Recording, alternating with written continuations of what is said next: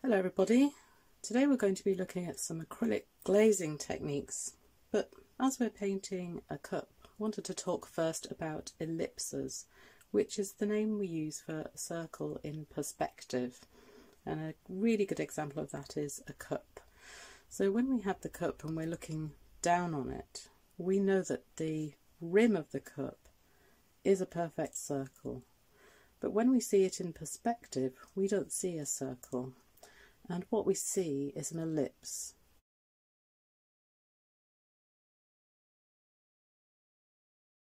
So here I'm tilting the cup and you can see now that I have what looks like a squashed circle which is narrower in the depth of the circle and wider in the width of the circle.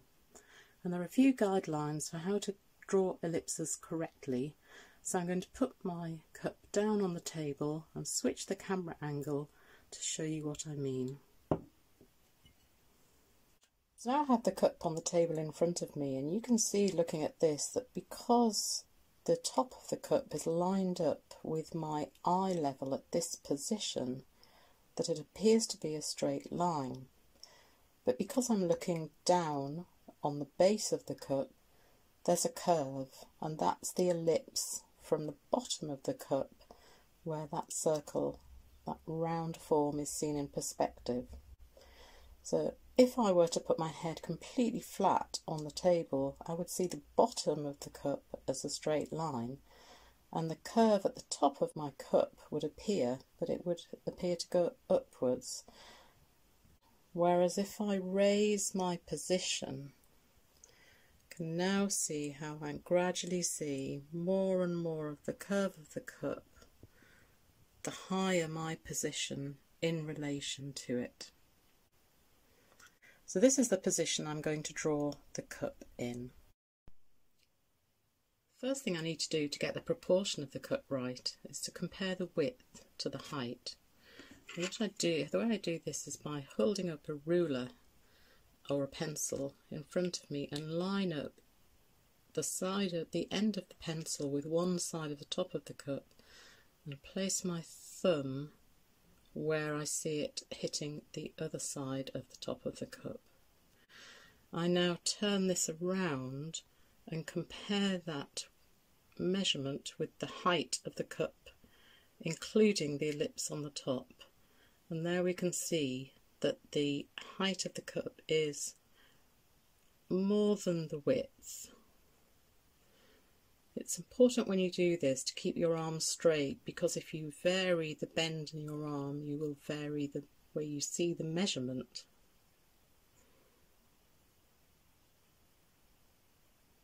So it's about one and a third times the width into the height.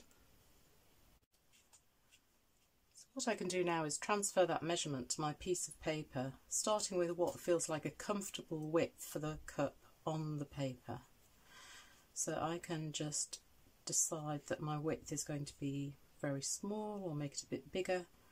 I'm going to go about here and then I just take that measurement, put a little mark at the top first actually, take that measurement and take my one and one third which brings me down to here. So this gives me a box in which to place my cup.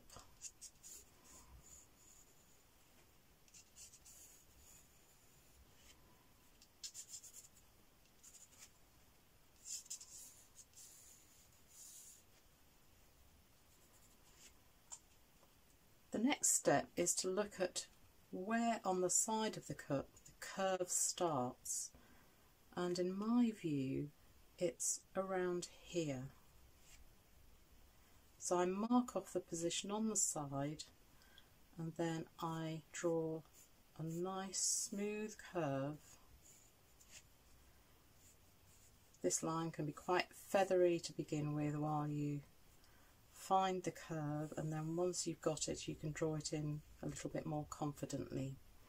So an ellipse should be a smooth curve, it shouldn't drop and then go flat across and then up and there shouldn't be any pointy corners at the sides so it should smoothly transition into the side of the cup.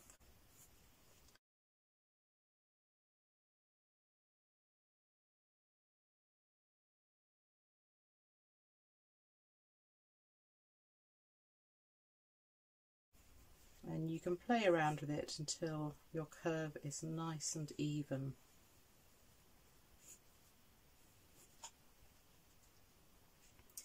Similarly at the top we need to look at the relationship between the depth of the ellipse and the width of the ellipse and if I have a look at mine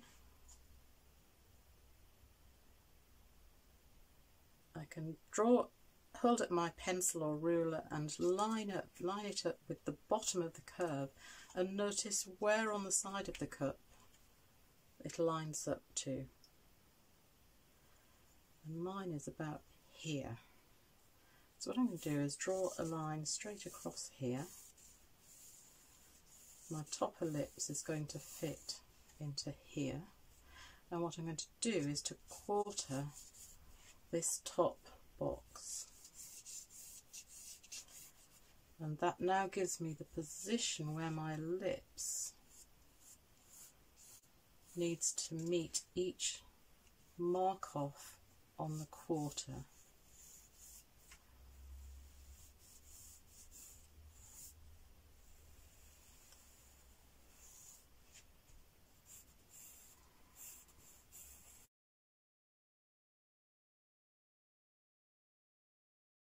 So again, a smoothly curving ellipse with no pointy corners on the side and the curve is, while it's not the same all the way around, it's evenly curved so that there aren't any sides that are straight or eye shapes because they are both incorrect.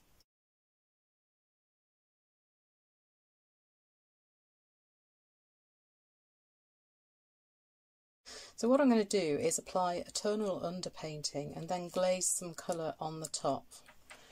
What I'm interested in, looking at the cup, is how the light hits it. So the window is on the left hand side and the light is hitting the outside of the cup on the left hand side and the inside of the cup on the right hand side. So there's shadow here around the base but on the inside the shadow is on the left hand side. So I'm going to play around with that in the painting.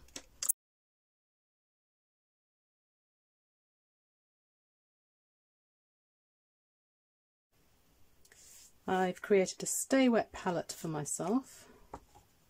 This is some damp paper towel kitchen roll with a little bit of baking parchment on top. Unfortunately mine's brown but um, never mind. And I've put out some colours on here. I've got some burnt umber, ultramarine, cadmium yellow, alizarin crimson. Got some water and I have a couple of synthetic round brushes with fairly fine points.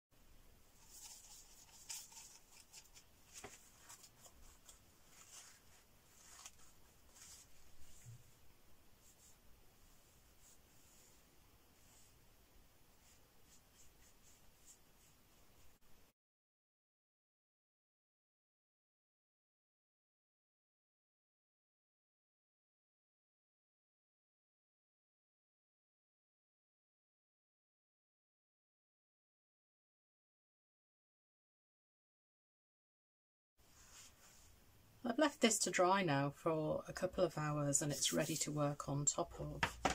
And my Stay Wet palette has worked quite well because my acrylic is still wet, so that's very satisfying. So now what we're going to do is to add some depth and make the paint a little bit thicker, but using the tones that we've already established in the painting with thinner glazes. So I'm going to take some of the white. I'm using exactly the same colours, so burnt umber and a touch of the blue to make it a little bit greyer and more neutral. And what I want on the palette is a range of tones that I can dip in and out of.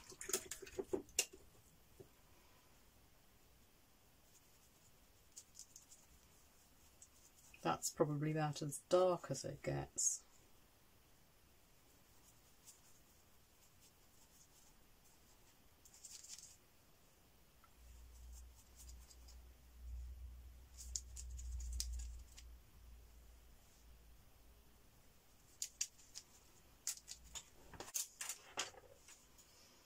And I'm using a, a flatter brush just to get into these areas. what I'm doing is matching the tone that's underneath but applying thicker paint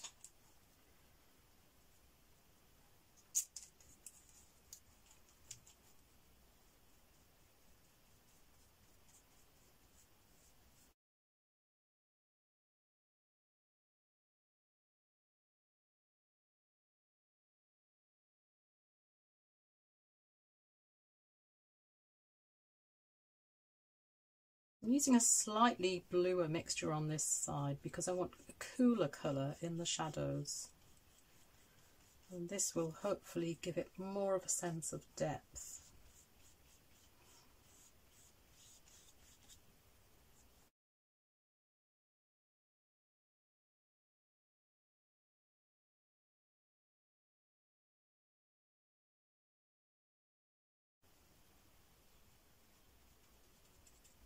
One thing that does happen when you're doing any art is the more you look at something, the more you see. So this is also an opportunity to adjust things as you go along. There might be subtleties in the tone that you hadn't noticed before. And now you can start finessing and adding some more detail to the tone.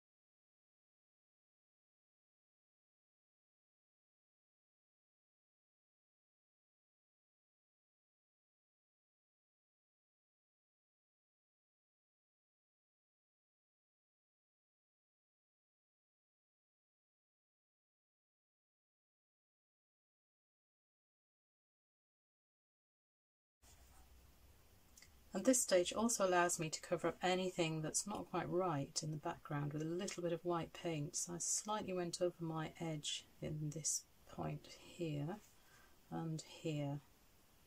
So just do a little bit of tidying up.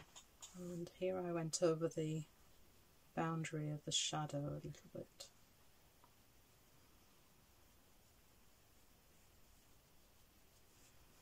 I can also add some highlights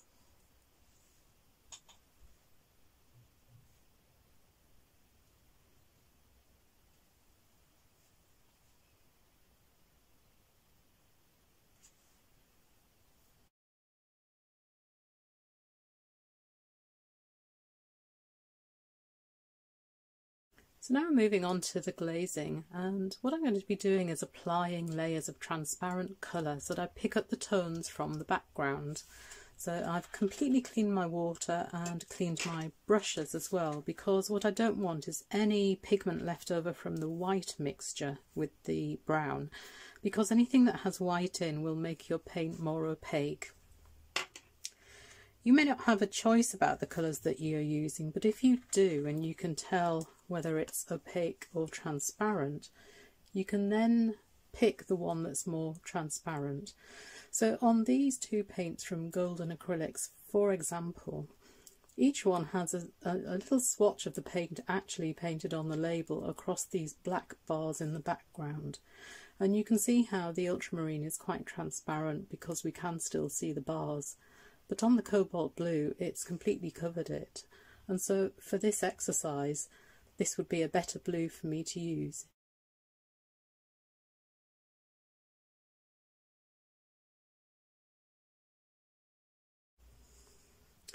And on a good quality paint, it will also tell you on the back where this paint is in the scale from transparent through to opaque. And this is quite transparent. So that's the blue that I've picked. I've also picked my alizarin hue, which on the back very clearly tells me it's transparent. And my cadmium yellow tells me it's opaque. So I have picked this Hansa Yellow Medium, which we can see here is quite transparent. But as I said, you may not have that choice, so just use the colours that you have.